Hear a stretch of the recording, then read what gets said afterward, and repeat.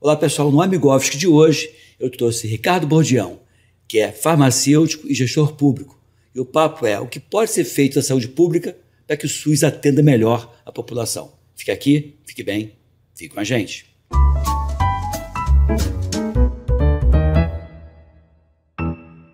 Pois é, estou aqui com o Ricardo Bordião, é farmacêutico, já, já tem um conhecimento da sua, do seu trabalho como farmacêutico e como gestor público há mais de uma década. Já Isso. tivemos vários papos. Queria agradecer a tua presença aqui no nosso podcast. E eu soube que você está agora enfrentando novos desafios. Você já teve uma, uma trajetória na gestão pública, numa OS, no Rio de Janeiro. Você é um empreendedor, né? tem clínicas, é um batalhador. Né?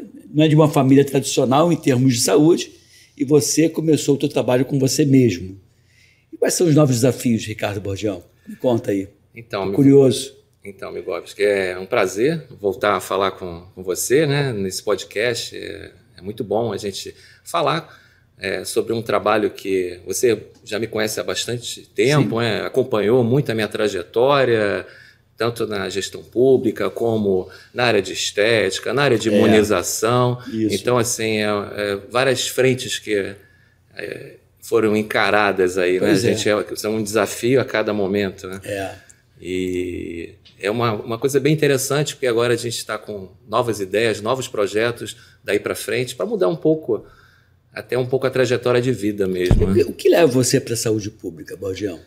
É uma paixão, né? É. Eu iniciei muito, muito cedo né, nessa questão, comecei na área hospitalar, na área industrial, e tive a oportunidade de trabalhar nessa OS, uma OS muito grande no Rio de Janeiro, aonde eu fiquei numa posição muito em destaque para poder atuar na questão da, da saúde pública Você mesmo. comandava pessoas assim? É, era época. uma equipe bem grande, grande. Né, de centenas de pessoas e eu agradeço muito essa oportunidade onde a gente se destacou bastante a gente conseguiu aparecer na mídia com relação aos trabalhos. Aparecer de uma forma positiva, né? É, exatamente, de uma disso. forma positiva, no Jornal Globo, no Extra. A gente Agora aqui no TV Correio da Manhã, é, no TV Correio da Manhã. É, e foi muito, muito bacana, foi assim que a gente se conheceu, é, né? Na é. verdade, você me convidou para falar um pouco do, do trabalho da equipe, né? Que um trabalho é feito é, por várias pessoas e deu muito certo. Né? Uhum. Eu agradeço muito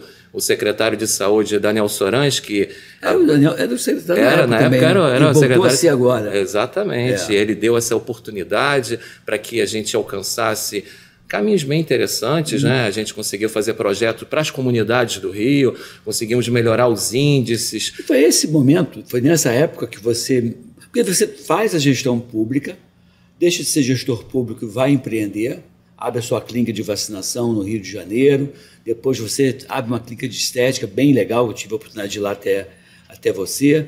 E essa estrutura toda não te completou a princípio, você volta hoje para a saúde pública. Essa é o, é, é o revisitar o passado? O que, que é? Como é que foi isso? É como eu lhe falei, é uma coisa que me atrai bastante, né? Você poder fazer um projeto, cuidar de pessoas, ver isso funcionando, isso é, é muito, muito interessante, né? Então, isso foi a motivação maior. Você é. sai da, do atendimento no varejo né, que é aquele atendimento do dia a dia de uma clínica de vacinação, é o atendimento de uma clínica de estética, e passa para o atacado, onde determinadas ações que você vem a fazer numa canetada, você muda a cobertura vacinal de um município. Isso, muda a cobertura vacinal, exatamente. Você já pode dizer qual é o município que você está empreendendo agora, para onde você vai? É no Rio de Janeiro, onde é que fica? Então, a gente não estou fechado ainda qual seria exatamente qual estado, se vai ser no Rio ou vai ser em Santa Catarina. Muito mistério, hein, pessoal? Mas é bem provável que eu estou agora apoiando uma, uma pessoa que vai se candidatar a prefeito de Santa Catarina, de governador Celso Ramos, né? uma ah. pessoa que eu aposto muito, é, tem experiência, é um desafio muito grande. Temos vários desafios lá na, nessa cidade, onde. De governador Celso Ramos. Governador Celso Ramos, que é um município de Santa Catarina. Tem quantos e, mil habitantes, mais ou menos?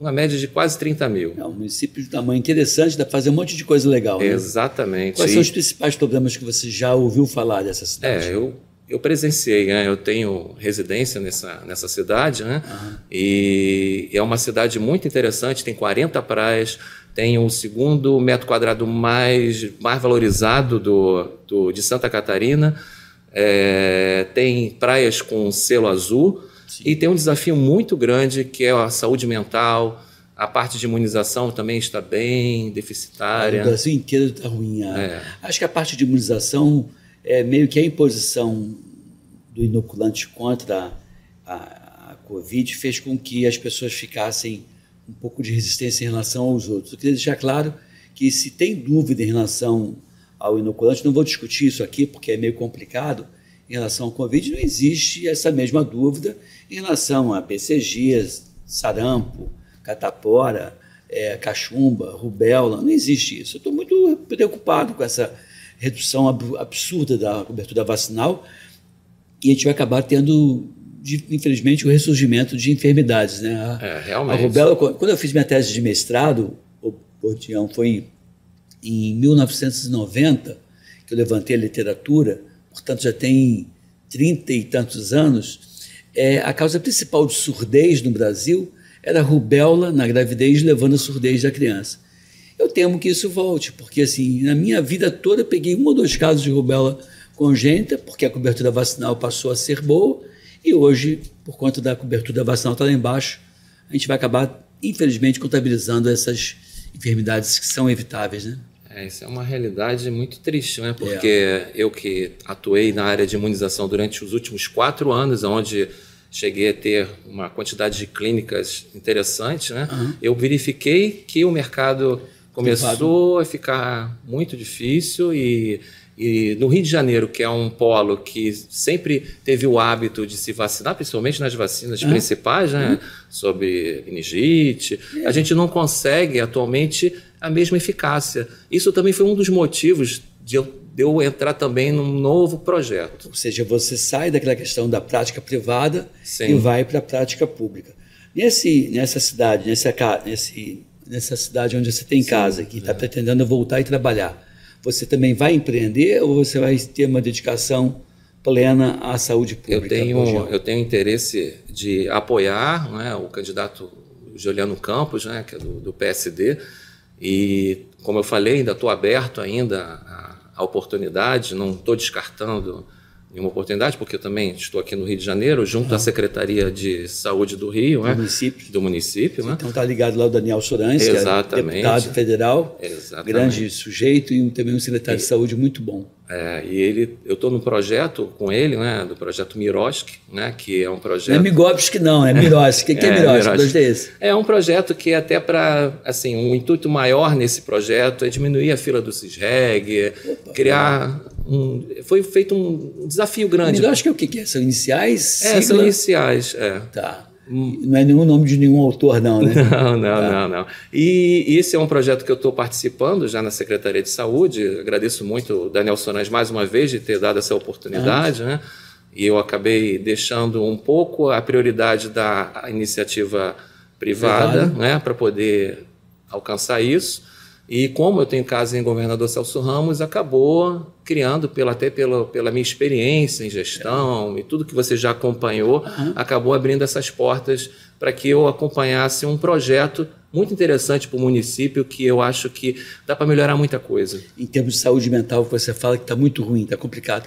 O país como todo, o Brasil, o mundo como todo está tá sofrendo. Né? Você vê, a, a, no Brasil, é cerca de 12 mil suicídios por ano. Né? É algo absurdo, e que as pessoas Sim. falam pouco e falam com medo de estimular mais ainda. E acaba que não se dá instrumento para as pessoas se identificarem quem vem sofrendo depressão, e acaba que as pessoas é, tiram suas próprias vidas sem que o, o, as pessoas que estão ao redor percebam isso. Né? É, realmente. Santa Catarina se não foi nada atualizado recentemente, é o segundo maior índice de suicídios do Brasil. Né? Isso em termos de, de, suicídio, de números absolutos que você fala, ou de números relativos em relação à população de Santa Catarina? Você sabe dizer isso aí? Não, absoluto. Caramba, então. É, é um índice muito grande e até onde, onde tem as pesquisas, não sei se saiu alguma pesquisa mais recente, e eles têm realmente um problema de saúde mental muito grande. Né? E existe várias coisas que dá para se fazer, que a gente sabe que dá para melhorar essa questão da saúde. Né? Tem projetos interessantes em vários estados, né? como psicóloga através de, de ligação telefônica, Sim. tem um monte de Lembrar coisa. que tem o CVV, que é o Centro de Valorização da Vida, que Exatamente, acho que, salvo engano, depois eu peço até para o Cazuza confirmar, Cazuza, e botar aqui embaixo Sim. o telefone do CVV. Acho que é 188, que estão aí para ajudar, porque saúde mental é algo que tem que ser levado a sério. Não é, não é frescura, não é bobagem, não, é algo muito E você vê um, um estado que tem um dos maiores IDHs né, do hum. Brasil. IDH, né? Índice de Desenvolvimento Humano, quer dizer, é, um, é o que dá àquela cidade maior longevidade, né? na verdade as pessoas vivem melhor, com qualidade de vida Sim. melhor. Santa Catarina é um, é um, é um, é um estado um clima muito bom, né? vem sofrendo um pouco com a questão da natureza, né? Exatamente, que muita castigando. chuva. Onde você mora, é, onde você tem casa, residência, também sofre muito com a questão sim, sim. Do, da natureza, teve enchente, essas coisas. Com problema. certeza. Nem, não é, tem lugares piores, né? mas eles, ah. a gente sofre bastante com esse tipo de, de, de, problemas da natureza, com relação aos eventos também. Uhum. Tem, tem muita. É bem diferente, né? um, um perfil diferente de, de, de clima. Né? Mas tem assim, uma, um IDH, como eu falei, um IDH muito avançado, a parte de educação também é muito avançada, uhum. existe até poucas escolas particulares, porque a escola pública é, é excelente, isso é, uma, é um diferencial. A gente que é do, do Sudeste, a gente é. consegue é. enxergar isso, uhum. eles para eles é bem natural, né? Uhum. Então a gente consegue enxergar isso. E é um lugar assim, muito bom de se viver, né? Isso. E aí você pensa em ir para lá quando, Borgião? Como é que tá? Olha, você está me botando aqui numa, numa saia justa, né? Uhum. Mas isso é bem Ou breve. Ou numa cueca apertada, como que é. É. Deixando com você. É, exatamente. Uhum. Então, assim, é, é uma questão realmente, a questão política, se realmente as coisas acontecerem. Uhum. Também tem a questão aqui do Rio de Janeiro, que ainda está em pauta. Então, como eu tenho essa experiência de gestão aí, que foi interessante, que trouxe resultados, né? E foram resultados expostos, né? Tanto que eu consegui depois apresentar trabalhos até fora do país com relação à imunização. Sim, eu lembro. Eu, eu cheguei a fazer palestra no Canadá, fui para os Estados Unidos, então isso trouxe um resultado muito bom. Uhum. Eu acho que eu tenho muito a colaborar. Com certeza. Para o município, ou para o município do Rio, ou para o município de Santa Catarina. É, quem te convidar, você aí para ouvir as, as, propostas e propor também trabalhos, né? É, você também, você é um tem muita pegada na questão virtual, né? Você tinha, Sim. não sei se você continua tocando ainda o farmacêutico virtual, que era um, um era um blog, era um site. O que, que era o farmacêutico então, virtual? O que, que, era não? O que, que é, né? É, eu sou assim pioneiro nessa questão do farmacêutico virtual, né? Que era um, um site que era ou é? Continua valendo ainda? Não, ainda está valendo. Só Sim. que teve uma mudança de, de perfil, porque só para você ter ideia, o domínio do farmacêutico virtual já existe há mais de duas décadas. Sim. Eu fui um dos pioneiros uhum. na questão de desenvolver um site na área de, de uma profissão. Sim. Né? E isso foi, foi alavancou muita coisa, ajudou muita, muita gente, ajudou muitos estudantes, apoiei o conselho, o conselho de, de regional de farmácia, o conselho federal. Lá, conversando com o pessoal do conselho regional de farmácia do Rio de Janeiro, a tua colaboração, por ter intermédio. Isso. Aliás, eu fiquei realmente impressionado com a liderança hoje. Pessoal bem. Não, com certeza, dedicado. avançou bastante. A gente tem aí agora o presidente Camilo, que é um, uma pessoa que faz um trabalho muito primoroso. Tem a, também a Talita, que é também uma das diretoras, Isso. e agora vai ser conselheira federal. Então tem uma, um trabalho muito bacana. O farmacêutico virtual existe.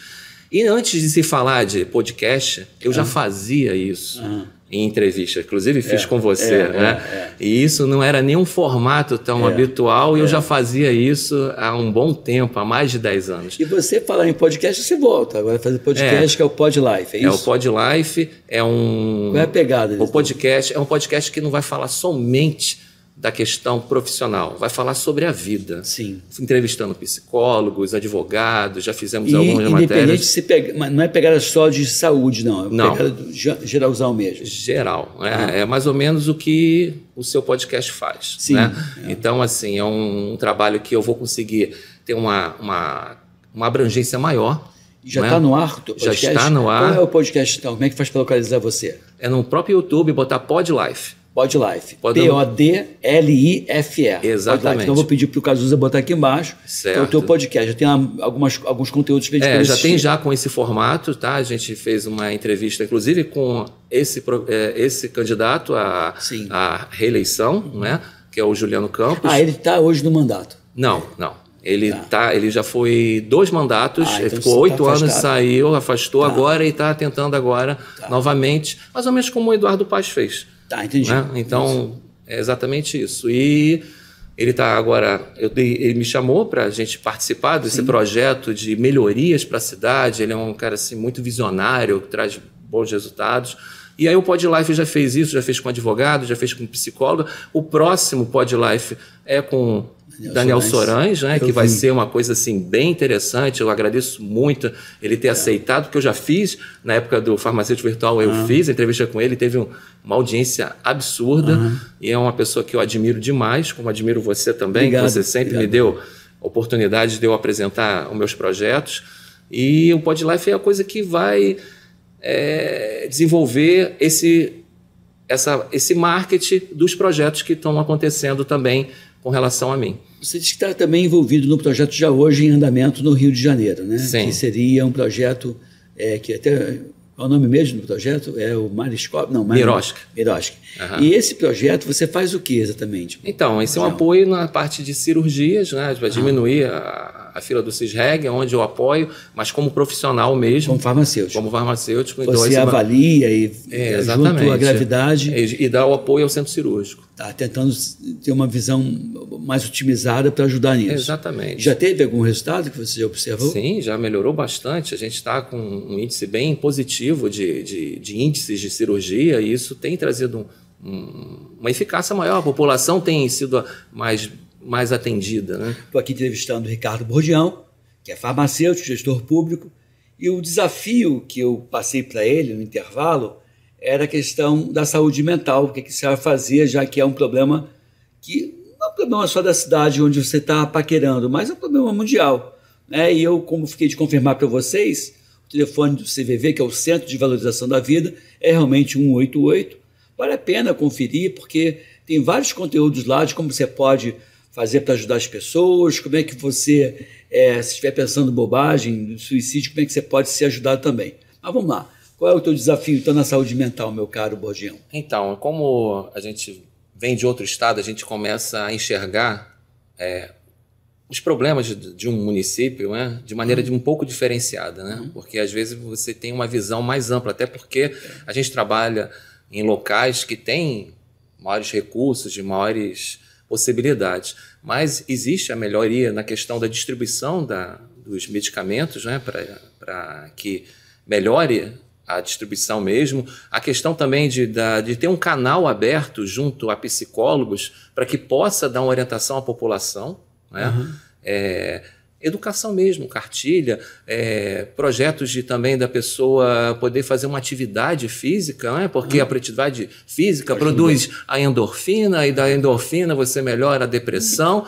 e por aí por diante. Você mesmo sabe Sim. disso, que você faz aí exercícios físicos e a gente sabe que isso é uma, uma questão que melhora só não só o lado físico, mas a, a parte mental, né? É, a prevenção eu... de várias enfermidades se dá por atividade física, por dietas adequadas. Exatamente. colocar é, em prática o bordião.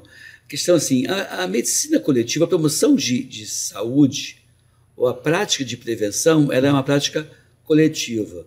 Às vezes, intervenção, promoção ou cura de uma doença tem que ser individualizada. Então, quando você trabalha é, nos pilares da medicina do estilo de vida, que é dormir bem, comer bem, atividade física, gerenciar estresse, bons relacionamentos, porque relacionamento ruim ninguém merece. Sim. Não precisar de drogas listas ou ilícitas. E tem o sétimo pilar que o, o pessoal de Harvard deixou de fora, e eu, como um cidadão folgado, né? pesquisador, nascido criado em Realengo, inquieto, é, é, é, eu bolo, eu, eu, propus o sétimo pilar que era justamente a saúde oral que está de fora. A saúde oral não entra no, nos pilares da promoção de saúde. E eu fico pensando assim, um, um, paciente com doença crônica ele tem obrigatoriamente que ter esse suporte. Né? O paciente com doença crônica, seja hipertenso, obeso, diabético, renal crônica, tem que ter todo esse suporte. Tem que ter o educador físico, tem que ter o suporte do psicólogo, tem do nutrólogo. Não dá para você bater no peito, ah, eu tenho um problema cardíaco e o meu cardiologista é o fulano de tal. Sim, mas quem é o teu educador físico? Não tem. Ah, por que, que eu tenho que ter educador físico? Tem que ter. Não, e uma Quer coisa dizer, que eu falo é que a gente tem que valorizar a equipe multidisciplinar. É. Coisa que assim, muito gestor público não valoriza. Não valoriza né? Porque eu, acho eu... que o, o, a saúde se faz com o médico. É, se é... faz com o médico também. É, então, assim, eu, eu vejo muito a, a questão do Sorães, né? Porque uhum. ele, ele sempre valorizou muito a uhum. questão de, da, da, equipe multidisciplinar. É. Né? Então, eu acho que isso é fundamental quando você pega um município com diversas dificuldades, talvez umas questões políticas né? não tão acertadas, né? você consegue valorizar a equipe multidisciplinar você botando o paciente, né, com todo esse apoio, como você falou, nutricionista, psicólogo, farmacêutico, médico, um educador físico, não vai ter problema. Então, é. eu, eu, acredito nisso, eu acredito que a, essa população ela não vai mais sofrer desse mal. Não, não é? vai. Em termos de saúde pública, é, a pessoa que te inspira é o Daniel Soares? Daniel Sorães e Edmilson Migoves. Ah, obrigado. Não, Daniel Sorães tem um trabalho muito, muito é, interessante. Né? Eu lembro do Daniel Sorães, na gestão anterior, que ele pega é, o município do Rio com uma cobertura de saúde da família ridícula, Sim. era de 3% ou 4%, chega até 70%, depois há uma desmobilização, infelizmente, e agora ele está, acho que, tentando retomar essa questão da saúde da família, Sim. que eu vejo que é o, é o essencial.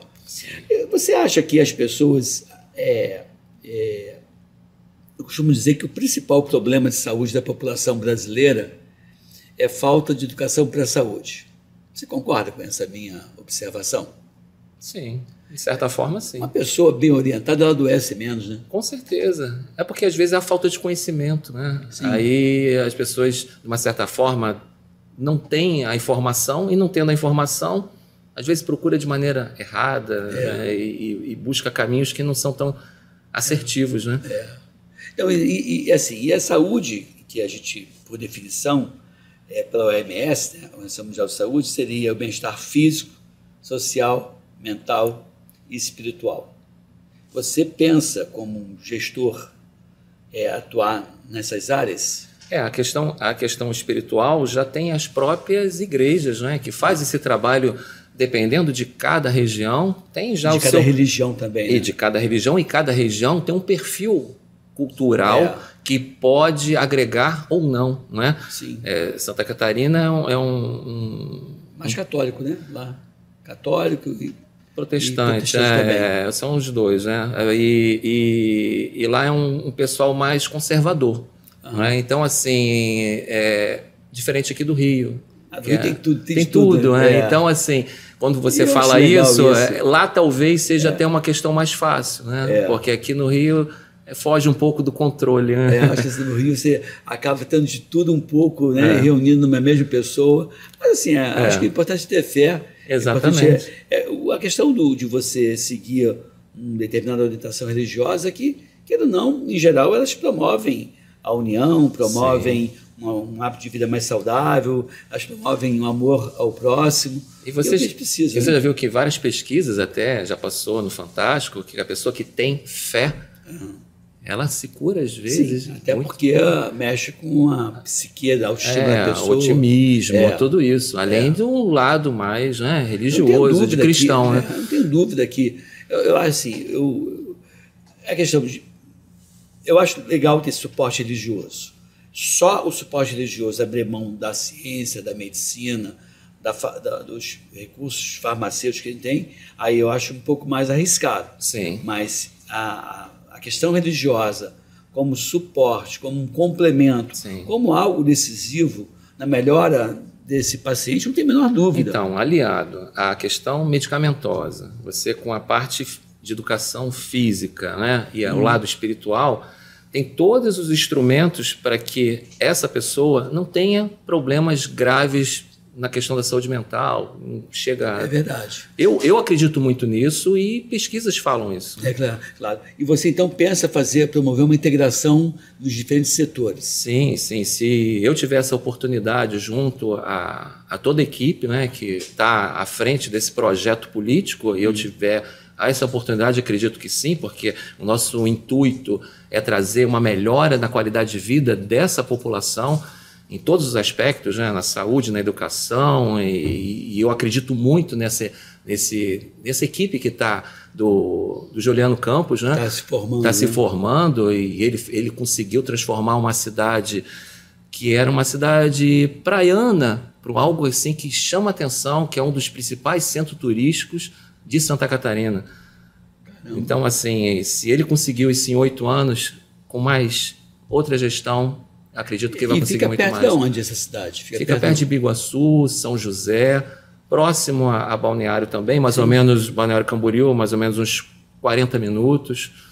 E é uma cidade bem localizada, próximo ao aeroporto, uns 40 minutos do aeroporto de Florianópolis. Florianópolis. Ah, exatamente. Sim, então é perto. E assim, quando se fala de turismo, se fala dessa cidade. Não sabia. Você está aqui então, você vai ser convidada para ir lá. É, então, logo o prefeito seja eleito, eu vou convidá-lo para vir aqui no nosso podcast. Ou, de repente, prefeito, me chama para eu ir até a tua cidade, eu vou de entrevista, aproveito e conheço essas praias de selo azul. Isso. E assim, é importante.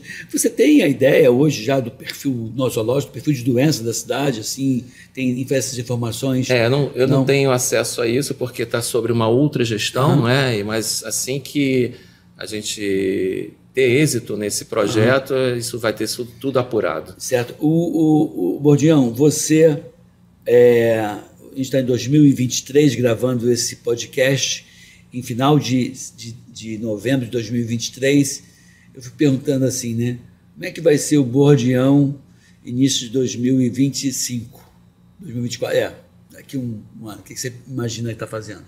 É, como você mesmo disse, eu estou mudando todo o meu perfil, voltando né, a, ao que. Gestor público. O gestor público, há de 10 anos atrás, que eu fiz um trabalho bem bacana, assim, que eu acredito que tem um resultado, foi um resultado de, de índices muito bons, né? Até hoje se fala de alguns trabalhos que a gente fez, de colocar profissionais da saúde nas comunidades para verificar a interação medicamentosa. Que é uma coisa que falha, né? É a questão da. da... Uma vez, Bordião, eu estava. A importância do farmacêutico, né? Eu sei que a nossa pegada aqui é uma pegada um pouco mais de gestão uhum. pública, mas uma vez eu atendi um paciente, eu dava aula na UFRJ, e tinha então os meus alunos do último ano da faculdade que a gente deixava ele sozinho, atendendo os pacientes, e a gente ia lá só discutir o caso, fazia um exame ou outro se fosse o caso, propunha, fazia a proposta do medicamento. Aí teve uma, uma situação que eu decidi fazer um antibiótico uhum. para o paciente. E eu falei assim: olha, você vai fazer esse antibiótico é, para o paciente de 12 em 12 horas. Falei para o estudante: uhum. o antibiótico é tal, prescreve por 10 dias Sim. e segue tais e tais é, acompanhamentos assim, para poder observar. Certo. Orientei um estudante, que é muito mais rápido orientar um estudante do que orientar o paciente, Sim. e deixei então o estudante incumbido de uhum. orientar o paciente. E fui ver os outros, os outros estudantes. Depois dos 15 ou 20 minutos eu volto e estava lá o estudante tentando explicar para a senhora uhum. a medicação. E eu, a moça, tadinha, com uma cara meio desesperada, que não estava entendendo, e aí ela falou assim, doutor, eu agradeço a sua boa vontade, a boa vontade também do seu estudante, mas eu não sei dar remédio de 12 em 12 horas. Eu não sei ler, nem em casa ninguém sabe ler. Então, assim, eu, eu não sei fazer isso. Não sei dar remédio assim. Sim. Como é que você sabe dar remédio? Assim, e eu que já tinha feito sol e lua para dizer que de manhã, sim, de noite. Sim, sim. Só sei dar remédio de 8 em 8 horas. Eu falei, é? Como é que você faz de 8 em 8 horas? Do 8 da manhã e 8 da noite. falei, então tá bom, faz de 8 em 8 horas. Então, isso é verdadeiro. É. Então, assim, se a pessoa tem essa dificuldade, Sim. Se eu não sentar e não explicar, vai fazer bobagem o tempo Com todo. Certeza. Né? Ela fica tensa, ela fica nervosa, ela fica a presença do médico. E cá entre nós, eu vivia no mundo ideal, no mundo ideal, porque eu atendia oito pacientes só numa tarde, com oito alunos. Então, Sim. cada paciente falar é atendido por uma hora, uma hora e meia. E então, você, e você, é, ima você imagina, né?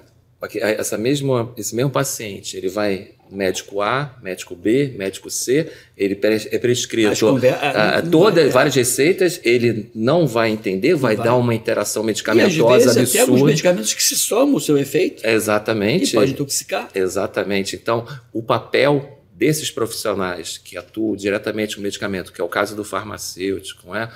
É, ele consegue enxergar isso e orientar o paciente. E é. isso a gente fez isso muito na gestão passada. Foi muito bacana. Ah. A, gente, a gente era engraçado, o Migovski, que a equipe ia lá ah. para fazer o atendimento do domicílio e a pessoa chegava no final e falava assim: quanto que é?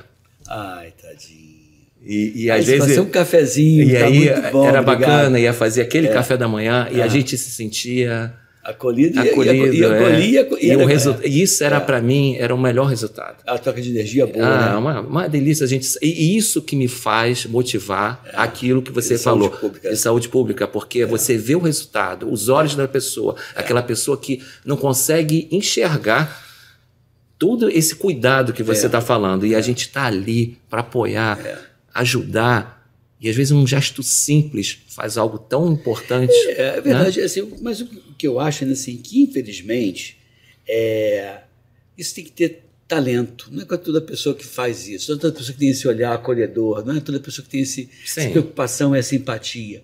Uma vez eu acompanhei um determinado laboratório. Só, só para pontuar simpatia e empatia. Sim, sim, claro, tem que ter, tem que ser uma pessoa acessível, tem que falar português, não medicinês, Exatamente. tem que ter um linguajar fácil, tem que falar, mano, a linguagem do povo. Porque senão você se distancia muito. Você já, já se veste de uma forma um pouco diferente, já chega de um jeito diferente, já chega numa, numa postura um pouco diferente. Isso pode intimidar a pessoa e a pessoa se distanciar. Né? Como eu, eu, eu, fui muito tempo, trabalhei em posto de saúde em Padre Miguel, né? eu Sim. sou nascido e criado em Realengo, então Padre Miguel e Realengo é, compartilham a mesma realidade socioeconômica cultural, então é muito fácil eu me inserir, mas eu via como é que as pessoas colhiam, eu via como é que as pessoas levavam coisas para gente, ovos, coco do coqueiro da casa dela, levava uma manga fazia uma graça, chegava, era, era engraçado, era, uhum. era, era gostoso isso. Né? Infelizmente, eu tive que sair por opção de, da UFRJ, uhum. mas assim, era uma, uma experiência que eu tive muito gratificante. E é engraçado né, que você se doa, mas eu, eu me sentia recebendo mais do que tinha doado, porque a energia que voltava era algo que era servia como um combustível para eu poder Sim. me manter mais forte e, e feliz. Eu, eu, me sinto exatamente assim. Então, me, dá é... muito, me dá muito prazer, orgulho. Ah. Aí Muitas pessoas até me perguntam, ah, mas iniciativa privada não é mais interessante? Talvez, mas você ter esse feedback das pessoas e você fazer algo que vai melhorar a vida delas, isso é muito bom. É, você sabe que é, eu já abandonei a clínica privada já há muitos anos. Trabalhava com consultoria, fazia consultoria para empresas, as indústrias farmacêuticas eu dei consultoria e, e a minha vida eu ganhei dinheiro desse jeito. Eu me realizava profissionalmente na universidade, dando aula, eu adoro dar aula, e eu dizia assim, é, é melhor dar aula do que trabalhar. Eu brincava dizendo que eu uhum. me sentia trabalhando, dando aula, porque uhum. era muito prazeroso. Mas essa questão, é, eu me distanciei da, da clínica privada por isso, e hoje eu acabo atendendo voluntariamente. Eu atendo, oriento, não Sim. consigo não, não ajudar, mas eu não cobro mais, porque é uma coisa boa. Eu ajudo pela pessoa, não Sim. pelo dinheiro que a pessoa pode me pagar. Sim. Isso é bom, porque me deixa numa situação muito confortável sim. de falar sim ou não, de ajudar sim, ou não ajudar. Com certeza. Mas na saúde pública você tem essa possibilidade o tempo todo de né, ajudar as pessoas. É, você é uma referência. A gente vê isso a todo, todo momento. Né? Quantas pessoas você já colaborou, ah, principalmente na época do Covid, é, né? Muita gente. Que é. muita gente chegava até mim é. e falava, é. não, está ajudando, como você tem uma, uma trajetória de, de apoio à população. É mais ou menos isso. Você sabe muito bem o que eu, eu pretendo sentir daí para frente. Claro. Quais são é, as, suas, as suas principais iniciativas ou projetos que você pensa em colocar é, em prática a médio e longo prazo na área de gestão pública, o Bordião? No Rio de Janeiro ou em Santa, Santa Catarina, quem é, tiver uma proposta mais sedutora para você e, e, levar o passe, que eu sei que teu passe é valioso, que você é uma pessoa que vai realmente fazer diferença onde você for colocado. Mas quais são os seus principais desafios? Então, primeiramente, quero te agradecer pela essa visão. Né? Para mim é, é, uma honra ouvir isso né, de você, que é uma pessoa que eu, eu estimo e, e, vejo como uma referência. Né? E realmente é desafiador. Até porque, falando-se de Santa Catarina, né, que é um município que tem várias dificuldades, né, questões de. Município de governador. governador Celso Ramos, que é um de Santa Catarina, uhum. né? Município de Santa Catarina, que tem diversas dificuldades, né? De, na questão da gestão, na questão de perfil de doenças, né, que a gente verifica agora atualmente, a gente tem percebido falta de medicamentos, falta de profissionais de saúde, questões de terceirização de uma maneira feita muito não adequada, né, que a gente já viu acontecer isso em vários estados e lá está acontecendo isso, oh, da população não ter acesso a médico, dentista, de não ter medicamento. Eu fiquei sabendo agora que não tem vacinas, entendeu? E, e, e aí, como é que fica? Esse, esse morador que paga os seus impostos, que tem uma qualidade de vida absurda de, de praias e não tem o seu suporte de saúde, complicado. Né? É? Então, a tua ideia é atuar justamente nessas coisas básicas que vem faltando no, nesse município. Com certeza. Eu, estando nessa, nessa equipe, né, que é o nosso, nosso objetivo, logo no primeiro momento a gente vai atuar em todas essas frentes para que mude esse cenário. Você vê que assim, será que esse município conhece lá?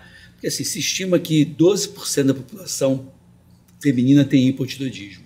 12%, ou seja, é, de cada 100 mulheres, tem 12 com hipotiroidismo. Será que eu conheço essas 12 em cada 100 munícipes desse município que tem hipotiroidismo para poder atuar, medicar? Medicação barata, né? Sim. É, será que eu conheço também, de novo, os 12,5% de renal crônico que tem nas estatísticas, que de cada 100 pessoas tem 12 pacientes renais crônicos que não estão ainda em hemodiálise, mas que vai acabar indo se não, se não orientar. Uhum. Então eu conheço lá os 7, 8% de diabéticos ou pré-diabéticos? Será que eu conheço lá os, todos os obesos para poder fazer alguma intervenção? Trabalhar nesse tipo de promoção. Falta, falta uma visão apurada para identificar essas pessoas para serem atendidas de maneira melhor. E é precoce. Isso, é, e precoce, né? exatamente. Você atender de forma precoce, da você gasta você, menos. É isso que você fala sempre, é. né? Na, nos seus projetos, você ah. sempre fala, se for atendido precocemente, a gente elimina um monte de problemas. É, o câncer, por exemplo, o câncer de colo de útero, que é um câncer muito comum, acomete cerca de 20 mil pessoas por ano no Brasil, que aqui no Brasil tem uma elevada, elevada letalidade, porque as pessoas buscam tardiamente.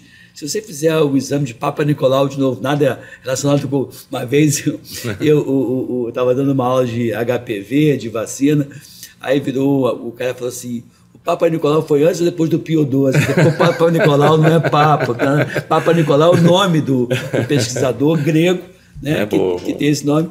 E aí eu, eu brincando com isso, né, um dia me perguntaram se o Papa Nicolau foi antes ou depois do Pio XII.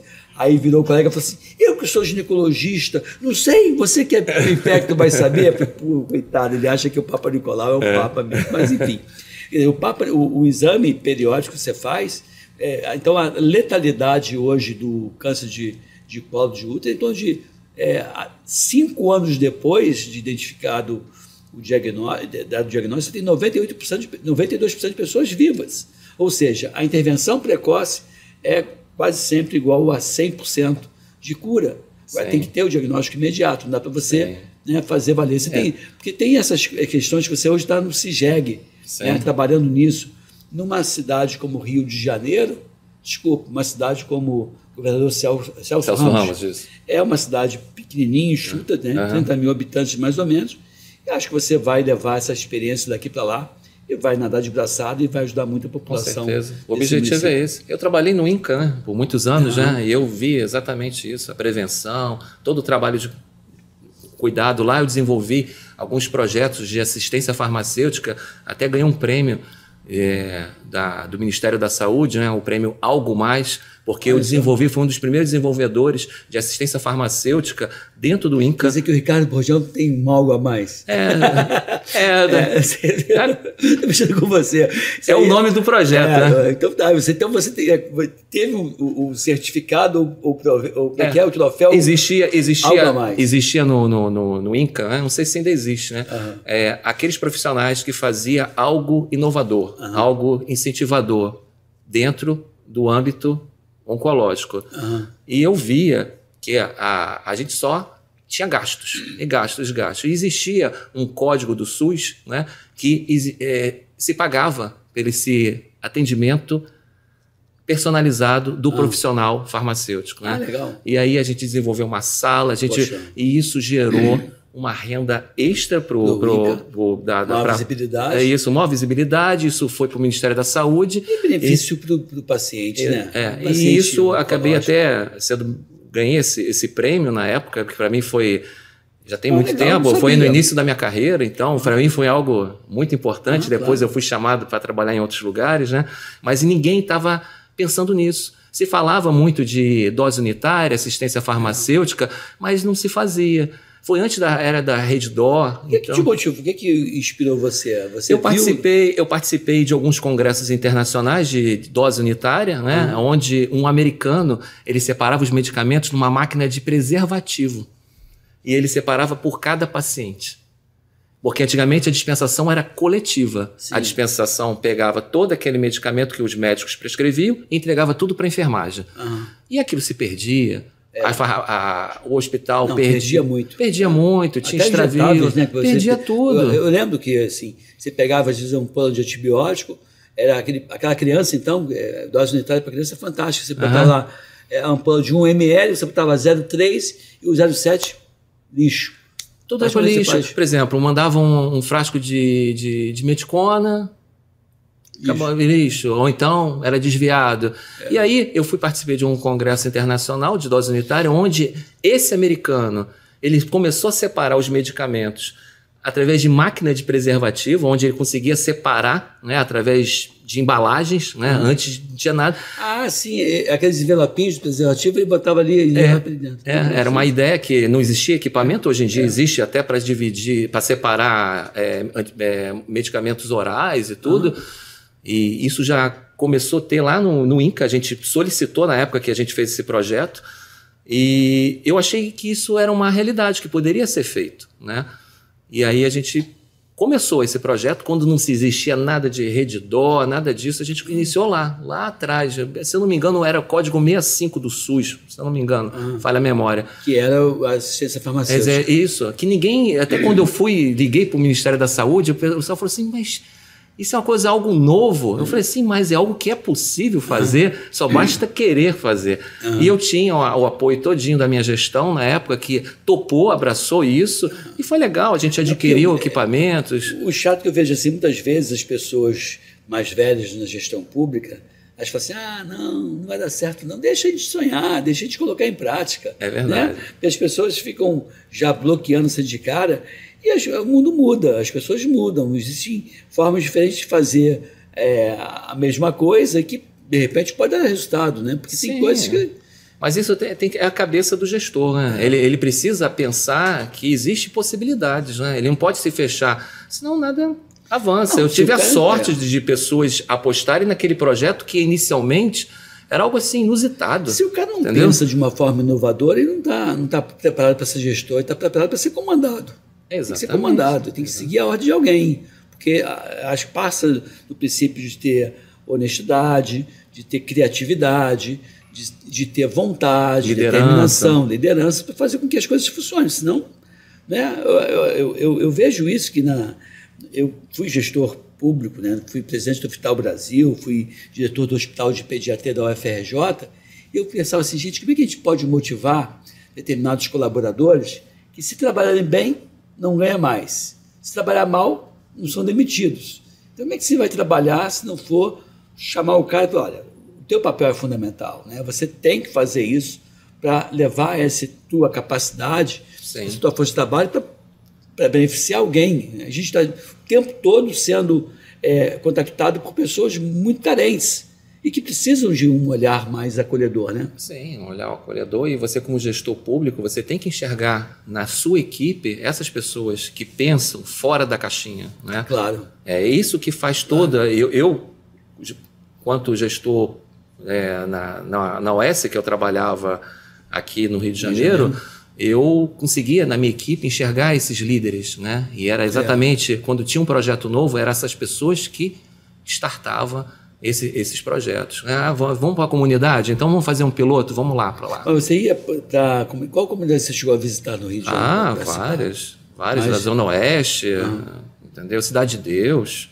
E eu ia junto. As primeiras reuniões eu ia junto. E eu acho que, não sei como é que está a cidade de Governador Celso Ramos, mas a princípio é a cidade mais tranquila do que o Rio de ah, Janeiro. Ah, não tenha dúvida, lá não tem, não tem esse tipo de problema. É, é, porque aqui não é fácil, que é desafiador, é, né? Costa Barros, é, entendeu? É. Onde a, a UPA era toda cheia de furo, é. né? entendeu? Então a gente tinha que ir lá como complicado, né? Uma longa é, história, né? E o coração na mão, né? É, o coração na mão e você... Quando falar outra parte do corpo na mão também, né? é, exatamente. Porque assim, eu sou de uma época que eu trabalhava em Padre Miguel, bem pertinho da Vila Vintém, uhum. assim, bem colado da Vila Vintém, eu cheguei a ver alguns bandidos famosos na época andando com pistola, mas os caras respeitavam a gente. Estou falando de quase quatro décadas atrás. Sim. Então, hoje eu não vejo mais esse respeito, infelizmente, de alguns lugares pela igreja, pela escola, pela saúde pública. Exatamente. Isso caiu, porque antigamente as pessoas respeitavam. Sim. Né? O médico, o farmacêutico, ele tinha um acesso livre. Era né? respeitado. É. Ele,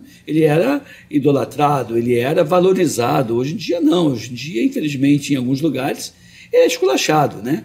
E aí isso faz com que. A ponto até de ser sequestrado, né? Pois é. Para fazer atendimentos Atendimento. locais. Então, assim, é um, é um desafio, porque é. não é só o projeto, o projeto em si, mas sim você entrar nesses locais para poder. A gente entrava em vielas. É. com pessoas armadas. Pois é. Então, assim, era uma coisa assim desafiador mesmo. É, pois é. Estamos chegando ao final, queria te presentear com a minha caneca do Amigovs, para quando você estiver tomando tua, teu café quentinho de manhã, ou teu chimarrão lá em, em Santa Catarina, você lembrar da gente aqui e passo para você as considerações finais do nosso bate-papo aqui, Bordião. Perfeito, eu quero novamente agradecer essa oportunidade de eu apresentar um pouquinho da minha história. Você acompanhou aí muitos Sim. anos, já tem mais de uma década aí acompanhando o, as minhas ideias. Ah. Você sabe que eu sou uma pessoa bem de criatividade alta aí nessa é. questão aí. E é um prazer novamente falar com você e, e, espero que todos os objetivos que eu comentei com você sejam alcançados, que os projetos se realizem e que Bem eu estou é, à disposição para dar esse apoio. Né? Como é que as pessoas encontram você nas redes sociais? É, na, na no Instagram. Como é que fala? É, Dr. Ricardo Bordião, dr.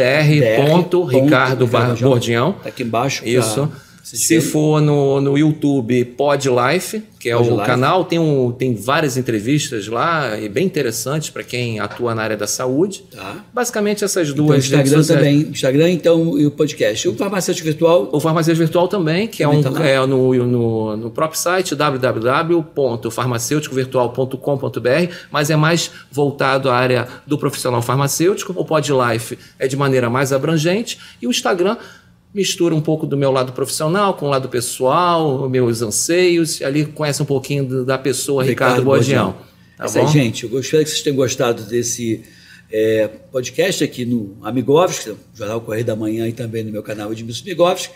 Compartilhe esse, esse vídeo, compartilhe esse podcast, porque informações de qualidade, sim, servem para promover saúde e minimizar dor, sofrimento, sequelas, internações e morte. Fique aqui, fique bem com a gente. Até o próximo encontro. Bye, bye. Tchau, tchau.